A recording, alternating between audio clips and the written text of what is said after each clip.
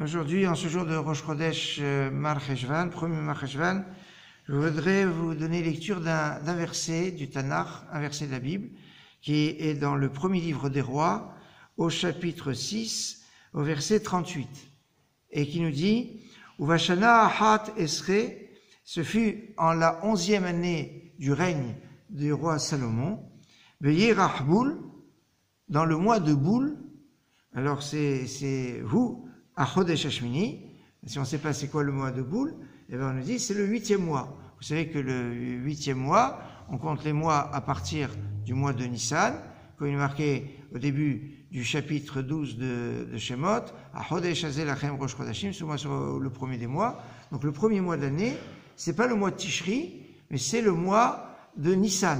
Et donc le huitième mois à partir de Nissan, c'est le mois de Marhajvan.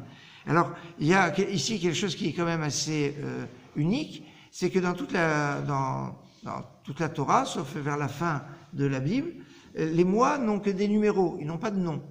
Et euh, ce n'est que dans dans les après le retour de l'exil de Babylone où les mois vont avoir des noms et pour la plupart des noms babyloniens. Et donc, mais sinon, ils ont des numéros. Et là, c'est un des, rares endroits où on est encore avant l'exil, où on a en fait deux mois qui ont des noms. C'est le mois de Ziv, euh, au Chodesh Aviv aussi le mois de Nissan qui s'appelle le mois de Aviv, et ça c'est même dans, dans, le Chumash. Et le, le Yerach Ziv, c'est le, mois de Iyar. C'est dans, juste dans le verset qui avant, on nous parle que la, début, le début de la construction, c'est la quatrième année, Beyerach Ziv, au mois de Ziv, où, la, splendeur, la lumière est, particulière. Et là, on est Beirar Boule. Alors, boule, ça peut avoir plusieurs sens. Boule, c'est euh, parce que la nature euh, se, se, se, flétrit comme Naval. Hein, c'est, ça, ça, ça, se, elle se, euh, bah, c'est, l'automne, tout simplement. Et, et, donc, maintenant, autre explication, c'est que c'est le mois où il y a eu le Maboul. Tiens, le lien avec la paracha, il, il, il réapparaît, puisque la paracha de semaine, c'est la paracha de Noir.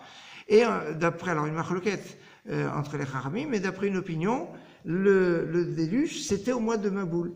Pardon, au mois de, de Rejvan, qu'on appelait le mois du Maboul. Et pendant euh, bien de très nombreux, nombreux siècles, au mois de Rejvan, il y avait pendant 40 jours de la pluie qui tombait, presque diluvienne. Pas, pas un déluge, mais qui rappelait que c'était le, c'était le déluge jusqu'à la construction du premier temple et quand il y a la construction du, du, du premier temple, c'est là, eh bien, le, le ces 40 jours de, de, de pluie intensive qu'il y avait depuis le déluge, s'est arrêté. Et donc, au lieu qu'on appelle ce, ce, le mois du Maboul, on l'appelait le mois de Boule. Maintenant, le mois de Boule, c'est aussi euh, un mois euh, qui est lié avec, euh, avec la Torah, puisque Boule, c'est les bêtes, c'est la première lettre de la Torah, Bereshit. Le Lamed, la dernière lettre, c'est les Israël. Et le Vav, c'est que al tout celui qui marche sur son ventre, qui, même si ce n'est pas euh, mathématiquement le milieu de la Torah, mais traditionnellement, c'est le Vav qui est euh, dans Parashat Shmini, qui est le, le, le, milieu de la Torah. Donc c'est un lien avec, euh, avec la Torah. Et on est dit, donc qu'est-ce qui s'est passé euh, Le premier, donc euh, dans la onzième année, qui est le mois de, de on ne dit pas exactement la, la, si c'était le premier ou c'était dans le mois en tout cas.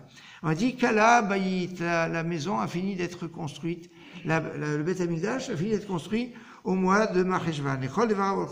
Suivant toutes ces paroles et toutes ces lois, Sheva Shanim, il a eu, on a dû, on a pris sept ans pour construire le Beth Amikdash. Donc c'est le premier temple. Et donc il a fini d'être construit au mois de Cheshvan, mais il n'a pas été inauguré au mois de Cheshvan. Il a fait, il a été inauguré au mois de Tishri le 8 Tishri, date euh, très euh, remarquable, euh, mais donc pratiquement un, un an plus tard. On sait qu'il y a un autre, un autre élément, c'est le Mishkan, le sanctuaire. Ils ont fini de tout rassembler, ils pouvaient l'ériger le, le 25 qui se lève, et finalement, euh, Dieu a dit non, il faut attendre le mois de Nissan, le mois de la naissance de Yitzhak. C'est là où il fallait inaugurer le Mishkan, et donc le Mishkan a été inauguré en, en, en, Nissan. Mais le 25 qui se lève, il s'est retrouvé, ben moi j'ai pas d'inauguration.